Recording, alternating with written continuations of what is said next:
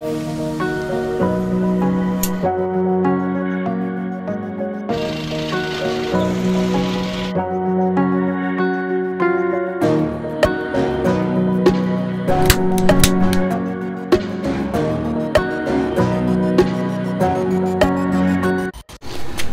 আজকের ভিডিওতে আমার রাজামশাইয়ের ফগ লাইটের একটা কভার লাগাবো আর মামার যে এফজের এক্স আছে সেটা সিট কভারটা তৈরি করব মহিদুলদার দোকান থেকে। তো নমস্কার আমি প্রিয়ম ওরফে বাবু সকলকে স্বাগত জানিয়ে শুরু করছি আজকের ব্লগ এই ঘুমাচ্ছিস কেন? হুম? এখন সময় হচ্ছে পৌনে একটা বেশ বেলা হয়ে গেছে আর আমাদের বাড়ির থেকে মহিদুলদার দোকান মাত্র দশ মিনিট লাগে তাও লাগে না হয়তো। আমি নিউ ইয়র্কপুরে থাকি আর এখান থেকে আমরা যাব সাজিরাট মোড়। সেখানেই গাড়ির কাজটা করাবো। এই সামনেই হচ্ছে এটা সাজিরাট মোড়। এখান থেকে আমরা বাদিকে চলে যাব। এই সিগন্যালটা না অনেক সময় কাজ করে, অনেক সময় করে না। এখন ফাঁকা আছে সিগন্যালটাও দিয়ে রেখেছে।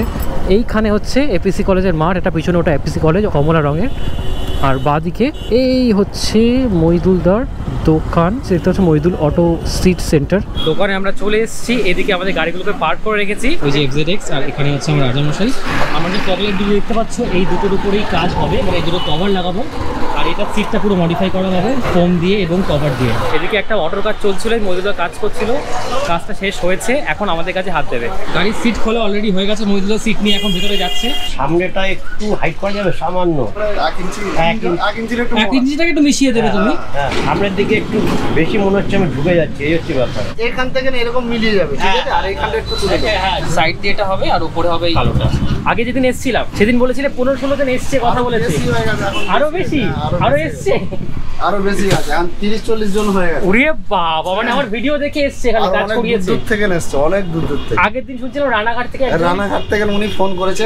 তুমি খুশি তো অনেক আমি এই যে প্রথমে যারা কাজটা করে যে চক দিয়ে এই যে কাপড়টা আছে কাপড়টার মাপটা নিয়ে এখানে পুরো চকের লাইনগুলো দিচ্ছেন এরপর এটাকে কেটে নেওয়া হবে।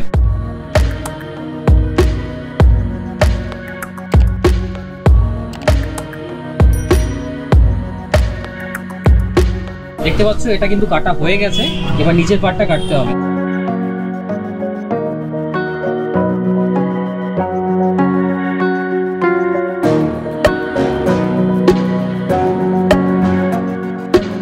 চারটে পার্ট কাটা কমপ্লিট এটা হচ্ছে সামনের পার্টটা সিটের সামনের দিকটা। এটা মেইন সিটের ওপরটা। দুদিকে সাদাটা হচ্ছে এটা। হুম, এবার সবকটাকে স্টিচ করে এখানে জুড়ে দেওয়া হবে।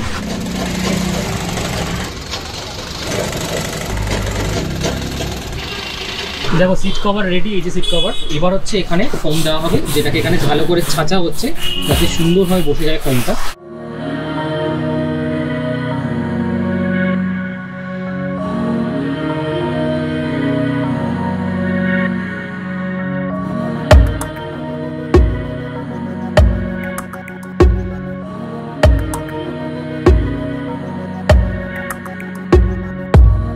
দিয়ে ঘষা হচ্ছিল। কম ঘষা ব্রাশ মামা বলছে এটা ফোম ঘষা ব্রাশ এটা দিয়ে ঘষার পর দেখো কীভাবে মিশে গেছে জিনিসটা। পুরো জায়গাটা সুন্দরভাবে মিশে গেছে দেখো।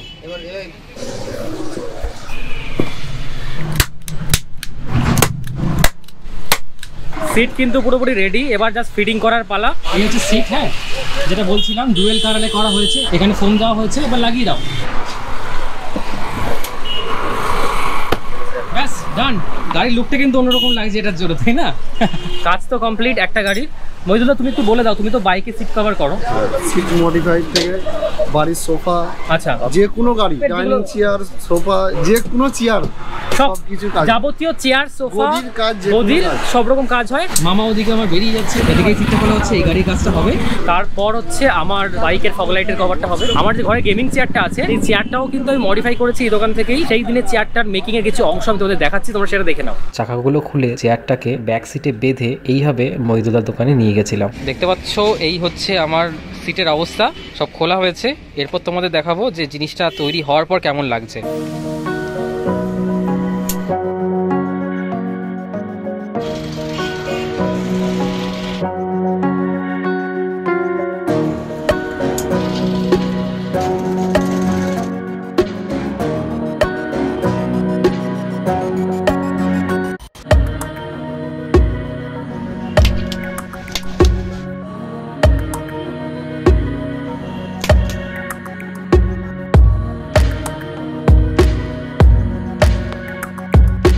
দেখো এটা হচ্ছে আমার ফাইনাল আউটপুট চেয়ারটার কি সুন্দর লাগছে। কম্পিউটার টেবিলের সামনে আমি সারাক্ষণ বসে কাজ করি আর সারাক্ষণ এটাকে ব্যবহার করতে হয়। তো দেখে মনে হচ্ছে কি একদম নতুন একটা চেয়ার কিনে এনে রেখেছি। তোমরাও কমেন্টে তোমাদের মতামত জানাতে পারো। তোমাদেরও যদি কোনো চেয়ার থাকে এরকম টাইপের তোমরা সেইটারও কাজ এখান থেকে করতে পারো। ফোন নাম্বার এখানে ডিসপ্লে হচ্ছে তোমরা দেখে নিয়ে কল করে অবশ্যই আসবে। দেখতে পাচ্ছ এখানে মাপ নেওয়া হচ্ছে ফগ লাইটের উপরের সামনের যে পার্টটা একটা ছাঁচ তৈরি করে রেখেছে তাই না?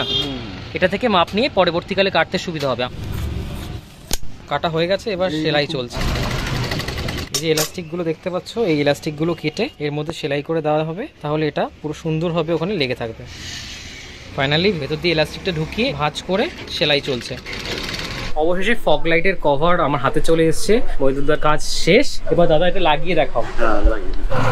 দেখো এলাস্টিকগুলো স্ট্রেচ করে এভাবে পরিয়ে দিতে হবে। সামনের থেকে গাড়ির লুকটা অনেকটা এরকম লাগছে।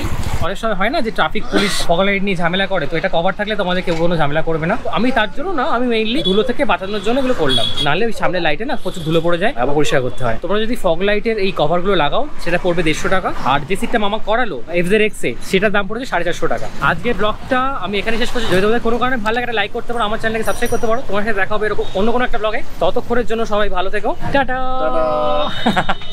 ফগ লাইটে সেটা তো তোমাদের দেখানো হয়নি আগের দিন। তো তার জন্যই আজকে আমি বাইকটা নিয়ে বেরিয়েছি। অলওয়েজ বলব, গাড়িটা স্টার্ট দিয়েই তোমরা কিন্তু ফগ লাইটটাকে জ্বালাবে, নালে কিন্তু ব্যাটারি তোমাদের ড্রেন হয়ে যাবে। তোমাদেরকে দুটো লাইট দেখিয়ে দিই, দেখো, একদিকে দিলে তোমার সাদাটা জ্বলবে, একদিকে দিলে তোমার হলুদটা জ্বলবে। হয়তো অ্যাঙ্গেল একটু এদিক ওদিক রয়েছে। এই অ্যাঙ্গেলটা একটু ঘুরিয়ে দিই, এবার হয়তো বুঝতে পারছ। এইটাতে একটু এদিক ওদিক করে বসানোর জন্য কিন্তু লাইটটা ঠিক করে পড়ছে না। যেটা আমি দেখলাম যে হলুদটা একটু নিচে পড়ে আর সাদাটা একটু উপরে পড়ে। এই হচ্ছে সাদাটা, দেখো কতটা পড়ছে।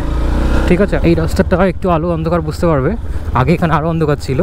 এখানে দেখো, এই যে হলুদে চলছে সাদারে জ্বালাচ্ছি আমি। এই দেখো, অনেক উঁচু ছিল, কিন্তু লাইট হচ্ছে। এটা তো চোখেও লাগতে পারে, এটা আরও একদিন নামাতে হবে। তোমাদের একটা আইডিয়া হয়ে গেল, আশা করি।